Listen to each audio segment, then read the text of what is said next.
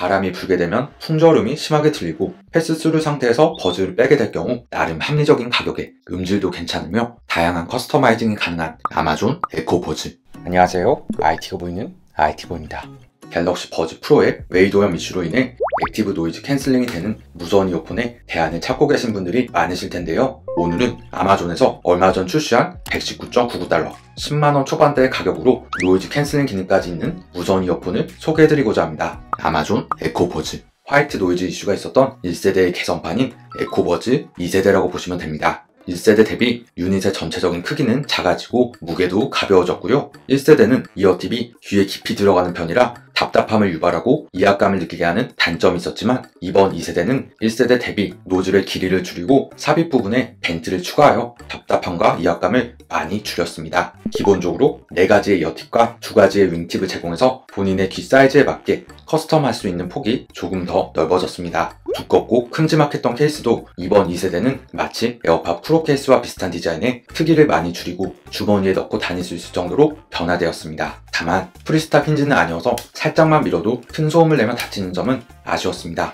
그래도 이렇게 뒤집고 흔들면 유닛이 떨어지지 않게 뚜껑이 저절로 닫혀서 신기합니다. 의도한 건지 아니면 그렇지 않은 건지는 잘 모르겠지만요. 전면에는 케이스의 배터리 잔량을 확인할 수 있는 LED 램프가 있고 케이스 내부에는 왼쪽과 오른쪽 유닛 각각의 배터리 잔량을 확인할 수 있도록 두 개의 LED가 독립적으로 있습니다. C type 케이블로 충전이 가능하고 충전 단자 옆에 블루투스 pairing 버튼이 배치되어 있는 그런 형태입니다. 버즈 유닛을 자세히 살펴보면 1세대의 버즈가 유광으로서 번쩍이는 느낌이 강해 다소 저렴한 느낌을 주었지만 이번 2세대의 버즈와 케이스는 전체적으로 무광으로 마감 처리되어 고급스러운 느낌을 줍니다. 버즈 프로의 케이스와 유닛과 비교해서는 버즈 프로 케이스가 무광이면서 metallic한 느낌을 주는 반면 에코버즈는 빛 반사가 거의 없는 완전한 무광에 가깝고요. 가로폭이 더 넓어서 전체적인 크기는 에코버즈 쪽이 더 크지만 두께는 비슷해서 주머니에 넣어도 크게 존재감을 드러내지는 않습니다. 유닛을 살펴보면 전작인 1세대보다는 많이 작아진 형태이면서 버즈 프로의 유닛 크기와 거의 비슷하고요. 외부에서 보이는 부분이 유광인 버즈 프로에 비해 외부는 무광이고 내부에 삽입되는 부분이 유광으로 만들어져 있습니다. ear tip의 형태나 두께는 버즈 프로와 닮아 있고 버즈 프로보다는 귀에 삽입되는 유닛의 면적이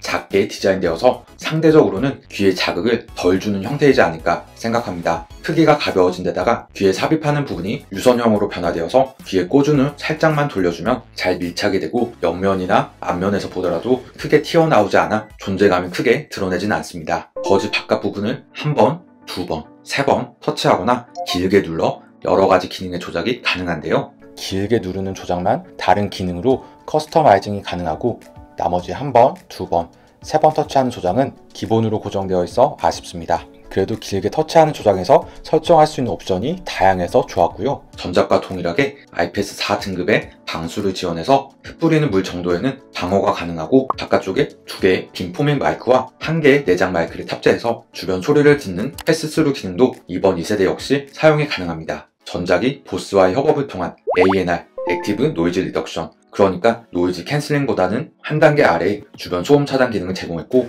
굉장히 베이스가 빵빵하게 튜닝이 되었었는데요. 이번 2세대는 active noise canceling 기능이 탑재되었고 5.7mm dynamic driver를 사용함과 동시에 1세대만큼은 아니지만 저음 부분이 굉장히 강화되어 둥둥거리는 베이스가 귀를 쿵쿵 울릴 정도입니다. 1세대가 ear tip을 두껍게 만들어서 자체적으로 외부 소음을 줄여 noise canceling 효과를 낸 noise reduction 기능이었다면 이번 2세대는 귀에 편안함을 주면서 3개의 마이크를 이용해 주변 소음을 효과적으로 잘 차단해줍니다. 버즈 프로에 비해서는 noise canceling 효과가 조금 떨어지는 느낌이지만 가격을 생각한다면 이 정도면 꽤 만족스러운 또는 더 좋은 성능이지 않을까 생각될 정도였습니다. pass-through 기능의 경우 0에서 5까지 단계를 설정할 수 있는데요. 3단계 정도까지는 주변 소리가 자연스럽게 들리는데 4 단계, 5단계까지 가게 되면 white noise가 들리면서 귀를 굉장히 자극하는 느낌이라 불편했습니다. 외부 마이크 두 개가 유닛 바깥쪽에 노출되어 있는 형태다 보니 바람이 불게 되면 풍절음이 심하게 들리고 pass-through 상태에서 버즈를 빼게 될 경우 마이크를 손가락으로 가리게 될 확률이 높아 삑 하는 소리가 자주 들렸습니다. 주변의 다른 사람들이 불편함을 느끼게 될 수 있다는 것이죠. 마이크를 조금 안쪽으로 배치했으면 좋지 않았을까 하는 아쉬움이 있습니다.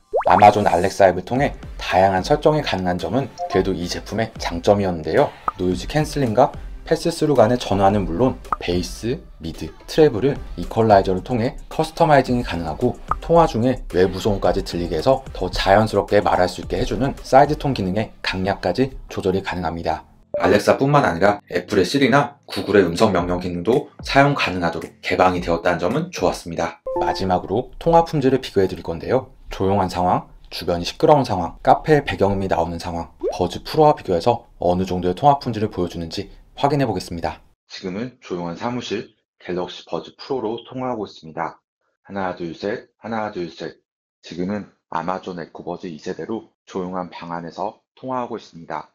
하나 둘 셋, 하나 둘 셋. 이번에는 이전 세대와 비교를 위해 아마존 에코버즈 1세대로 통화하고 있습니다. 하나 둘 셋, 하나 둘 셋. 이번에는 바람이 많이 부는 한강에서 갤럭시 버즈 프로로 통화하고 있습니다. 하나 둘 셋, 하나 둘 셋. 이번에는 바람이 많이 부는 한강에서 아마존 에코버즈 2세대로 통화하고 있습니다. 하나 둘 셋, 하나 둘 셋. 마지막으로 시끄러운 배경음악이 있는 카페에서 갤럭시 버즈 프로로 통화하고 있습니다.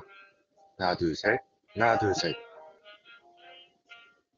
시끄러운 배경음악이 있는 카페에서 아마존 에코버즈 2세대로 통화하고 있습니다. 하나 둘 셋, 하나 둘 셋. 어떠셨나요? 버즈 프로와 비교해서도 통화 품질은 부족함이 없었던 것 같습니다. 버즈 프로의 외이도염 이슈로 인해 안드로이드 스마트폰 계열에서 사용할 만한 noise canceling이 되는 무선 이어폰을 찾고 계셨던 분들에게는 나름 합리적인 가격에 음질도 괜찮으며 다양한 customizing이 가능한 이번 아마존 에코버즈 2세대는 충분히 좋은 대안이 될 수 있지 않을까 생각하는데요. 1세대 대비 많은 점이 개선된 점을 미루어 볼 때 다음 세대의 아마존 에코버즈가 점점 더 기대되기도 합니다. 오늘은 아마존의 에코버즈를 리뷰해봤고요. 얼마 전 아마존에서 출시한 10인치 태블릿 파이어 HD10도 곧 리뷰해볼 예정이니 구독과 좋아요 꾹 눌러주셔서 제 채널과 함께 해주시면 정말 감사하겠습니다. 감사합니다. 좋은 하루 보내세요. 좋은